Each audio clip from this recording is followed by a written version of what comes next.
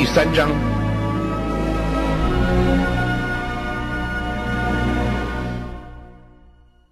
你要写信给撒迪教会的使者说：那有神的欺凌和欺心的说，我知道你的行为，暗明你是活的，其实是死的。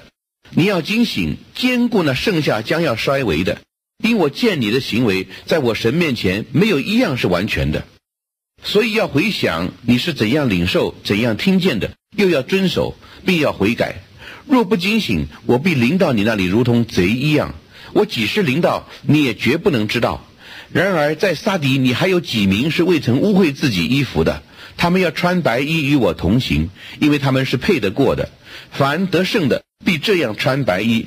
我也必不从生命册上涂抹他的名，且要在我父面前和我父众使者面前认他的名。圣灵像众教会所说的话，凡有耳的就应当听。你要写信给菲拉铁菲教会的使者说：那圣洁真实，拿着大卫的钥匙，开了就没有人能关，关了就没有人能开的。说：我知道你的行为，你略有一点力量，也曾遵守我的道，没有弃绝我的名。看呐，我在你面前给你一个敞开的门，是无人能关的。那撒旦议会的自称是犹太人，其实不是犹太人，乃是说谎话的。我要使他们来在你脚前下拜，也使他们知道我是已经爱你了。你既遵守我忍耐的道，我必在普天下人受试炼的时候保守你，免去你的试炼。我必快来，你要持守你所有的，免得人夺去你的冠冕。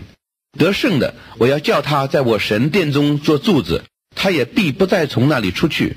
我又要将我神的名和我神城的名，这城就是从天上从我神那里降下来的新耶路撒冷，并我的姓名都写在它上面。